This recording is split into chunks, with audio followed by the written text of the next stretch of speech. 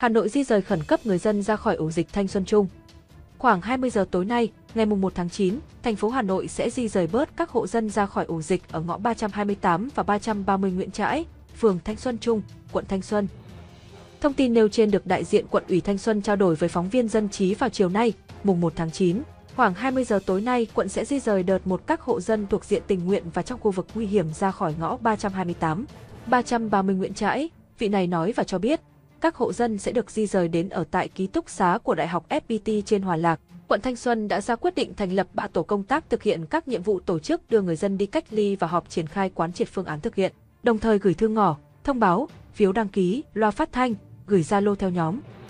Về việc thực hiện đưa người dân đi giãn cách đăng trên nhóm Zalo và gửi trực tiếp cho người dân trong khu vực cách ly, phong tỏa. Đồng thời, Thường trực quận ủy Thanh Xuân cũng đã ban hành thông báo kết luận số 196 triển khai ý kiến chỉ đạo của Thủ tướng Chính phủ về công tác phòng chống dịch COVID-19 trên địa bàn quận này. Trong đó yêu cầu phải khẩn trương kiểm soát, dập dịch COVID-19 tại khu cách ly tạm thời khu vực ở ngõ 328, 330 Nguyễn Trãi. Thường trực quận ủy Thanh Xuân cho biết, sau khi nhận được ý kiến chỉ đạo của Thủ tướng Phạm Minh Chính, quận ủy Thanh Xuân đã tổ chức họp triển khai ngay các giải pháp cấp bách phòng chống dịch trên địa bàn và tại khu vực phong tỏa để xử lý triệt để ổ dịch không để phát sinh lây nhiễm, đảm bảo sức khỏe, an toàn tính mạng cho người dân. Theo thông báo của Thường trực quận ủy Thanh Xuân, tính đến ngày 1 tháng 9, ổ dịch ở khu dân cư ngõ 328 và 330 Nguyễn 373 trường hợp F0, trong đó 2 ca ngoài cộng đồng, 74 ca tại khu cách ly tập trung, 297 ca tại khu vực đã khoanh vùng cách ly. Tại khu vực dân cư ngõ 328 và 330 Nguyễn Trãi, phường Thanh Xuân Trung 690 hộ và 1.304 nhân khẩu.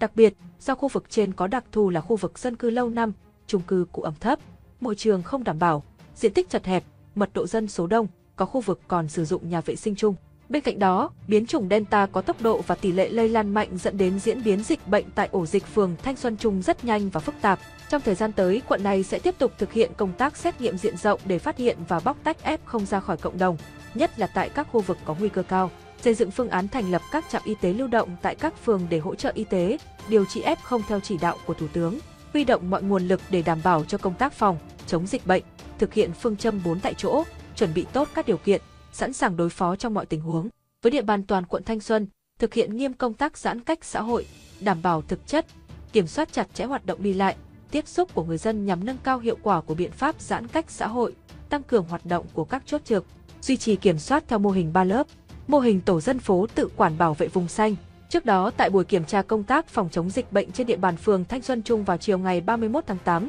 Thủ tướng Chính phủ Phạm Minh Chính đã yêu cầu chính quyền sở tại phải làm ngay hai việc. Một là di rời bớt người dân ra khỏi khu vực hiện có mật độ dân số quá đông để tránh lây nhiễm, bảo vệ các vùng xanh xung quanh. Hai là thiết lập ngay trạm y tế lưu động tại phường, điều trị phân loại ngay các ca F không theo tinh thần mỗi xã phường là một pháo đài như Thủ tướng đã có công điện chỉ đạo. Sáng mùng 1 tháng 9, theo thông tin từ Trung tâm Kiểm soát Bệnh tật Hà Nội, tính từ ngày 23 tháng 8 đến nay, chùm ca bệnh liên quan điểm nóng Thanh Xuân Trung đã ghi nhận 372 ca dương tính SARS-CoV-2. Ngày 24 tháng 8 vừa qua, Ủy ban Nhân dân quận Thanh Xuân đã tiến hành phong tỏa ngõ 328 và ngõ 330 đường Nguyễn Trãi. Khu vực này có gần 700 hộ dân với hơn 2.000 nhân khẩu sinh sống do phát hiện các ca F0.